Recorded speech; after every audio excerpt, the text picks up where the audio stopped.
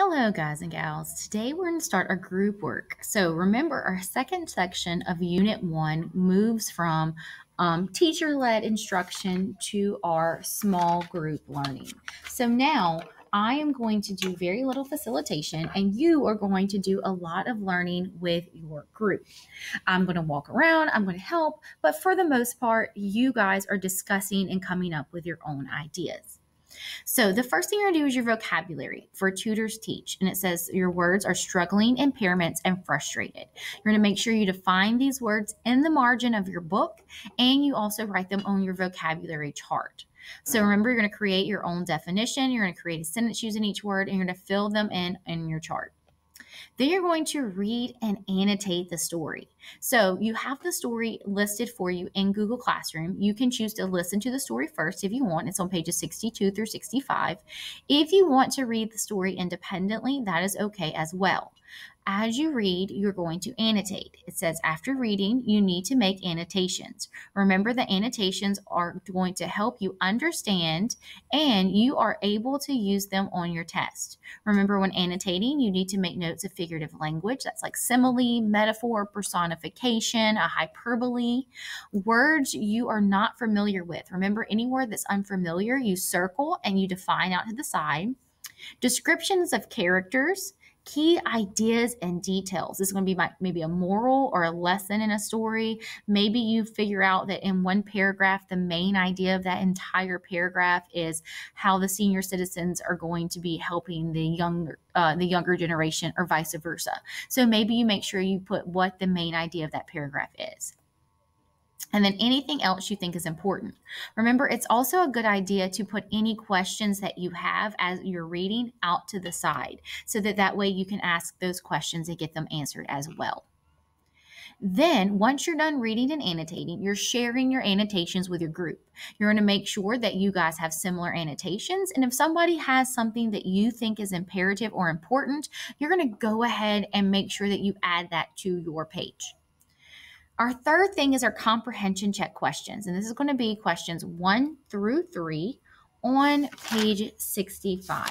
So on page 65, you're going to make sure that you have all of those annotations listed. I mean, all those comprehension que questions answered. So that's the third thing that you're going to do. Um, then we're going to do your analyze, craft, and structure worksheet. Your entire worksheet should be completed and you're going to work on your evidence log. Now, I am going to go ahead and say after your comprehension que uh, check questions, I'm adding this to this.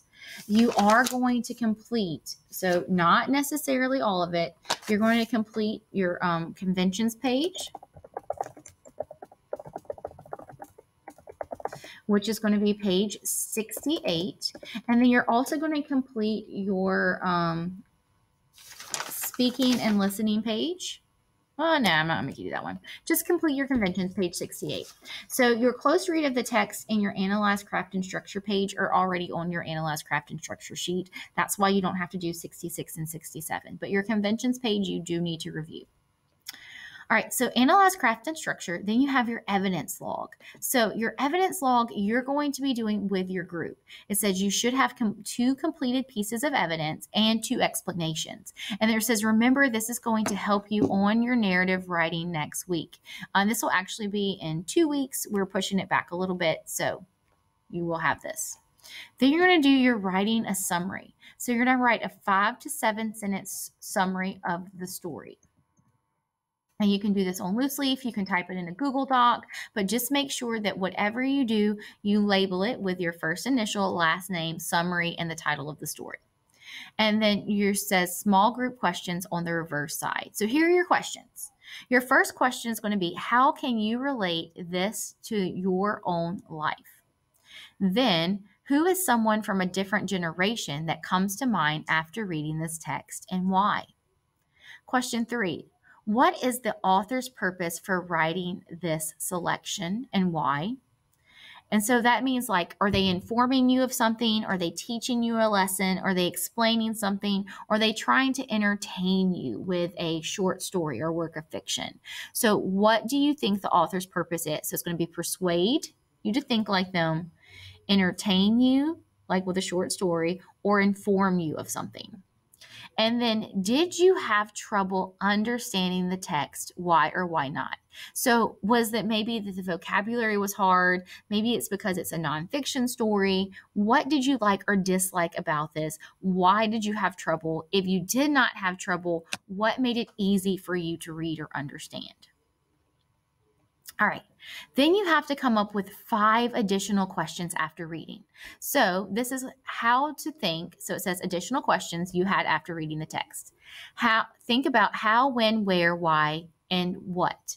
It says you can have two recall questions straight from the text and three that require your peers to think. So you're going to ask these questions of your peers. So recall is an example like what color was the main character's shirt?